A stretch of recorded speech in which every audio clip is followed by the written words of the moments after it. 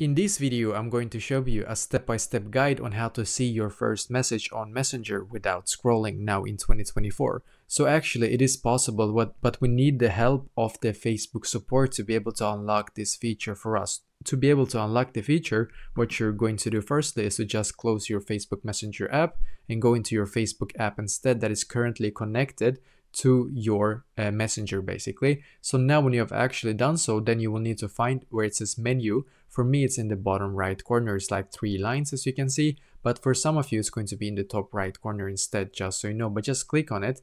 Then you should be taken to this page right here, as you can see. So now on this page, then what you're going to do is to just scroll down in here until you can find where it says help and support. So click on help and support.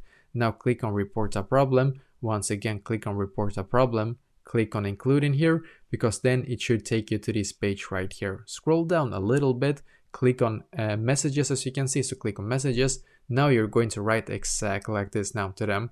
I want to unlock the feature to be able to scroll all the way down to see first message immediately.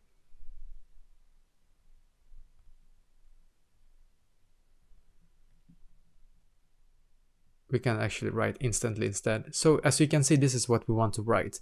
I want to unlock the feature to be able to scroll all the way down to see first message instantly. Now click on send in the top right corner going to take a couple of seconds and perfect. As you can see, I've now submitted this. What you're going to do now is to wait a couple of hours, go back into your Messenger app and hopefully you will get like a pop-up where it says that you now have this feature and you can go into a specific chat and then you will be able to get like a button where you can click and it will take you straight to the to see the first message basically. So that is exactly how to do this.